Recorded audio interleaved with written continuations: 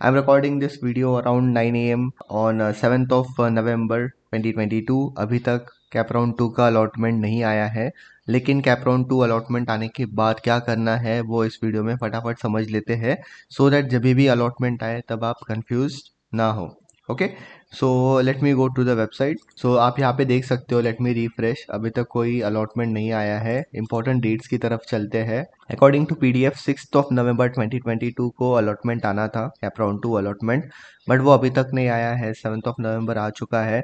शायद आज थोड़ा सा डिले हो बट आ जाएगा. ठीक है? मोस्टली आ जाएगा.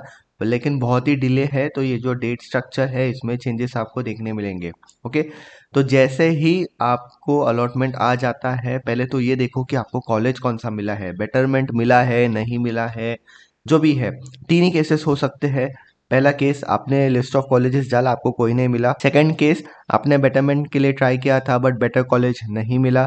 थर्ड केस आपने बेटरमेंट के लिए ट्राई किया था, और बेटरमेंट मिल गया।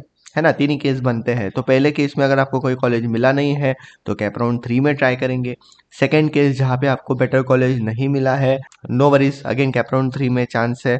एंड थर्ड केस जहाँ पे बेटर कॉलेज मिला है, आप वो एक्सेप्ट करके ख़त्म कर सकते हो एडमिशन प्रोसेस या फिर आपको लगता है कि नहीं कैप राउंड थ्री तक फाइट करना चाहिए तो आप वो पर्टिकुलर नया कॉलेज लेके फाइट कर सकते हो। ठीक है? तीन सिंपल केसेस है।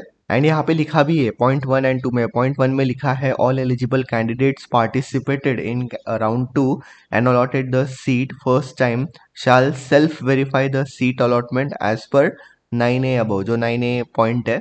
The candidate who have been allotted the seat first time in CAP round two shall pay the seat acceptance fee through his और her log in by online mode ये तो अपना जेनेरिक रूल है. Second candidates who have allotted other than first preference ठीक है? Other than first preference की बात करें, क्योंकि फ़र्स्ट प्रेफरेंस तो ऑटो फ्रीज हो जाता है। And want betterment in the subsequent round must claim the allotted seat in round two by accepting that seat by not freeze option for betterment and shall pay the seat acceptance fee through their login by online mode. Again वही same basic rule है।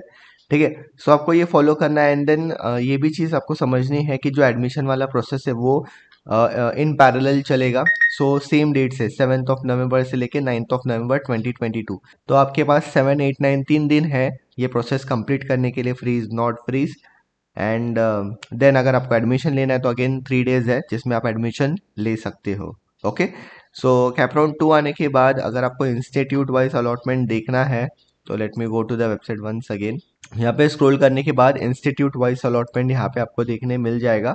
ठीक है? सो कैपराउन to के जो links है ये active हो जाएँगे ओके एंड मोर ओवर अगर आपको डायरेक्ट लिंक्स चाहिए तो ये सेक्शन में ऑनलाइन सिस्टम ये सेक्शन में लिंक्स अपडेट हो जाते हैं ठीक है? तो इतना आपको ध्यान रखना है। एंड गाइज़ मोर ओवर जितना भी कन्फ्यूज़न है ना आई रिकमेंड कि आप सी टी सेल या एफ़ सी से पूछो बिकॉज़ वो मेन uh, बॉडीज़ है। वैसे तो रूल्स ऑलरेडी दिए हैं पूरे पीडीएफ में कि क्या करना है क्या नहीं करना है। फिर भी अगर आप C T cell and F C से एक बार पूछ लो तो बेटर ही होता है, क्योंकि उनकी तरफ़ से एक बार कंफर्मेशन आ गया कि भाई यही करना होता है तो आप हमेशा यू नो डिफेंड कर सकते हो, क्योंकि इन्फॉर्मेशन लीगल सोर्स से आई है है ना? So I hope this is very very clear let's see कि मतलब क्या कॉलेजेस मिलते हैं स्टूडेंट्स को। आप कमेंट में ज़रूर बताना and more I try to upload a video about CAP round two allotment as well जब वो आ जाता है। लेकिन मोटा मोटा जो कैपराउंड वन में हमने जो किया था, ठीक है कैपराउंड वन में जो स्टेप्स फॉलो की थी फ्री इज़ नॉट फ्रीज वही तो करना है। Okay so that's it in this video thanks for watching stay connected and always keep that smile up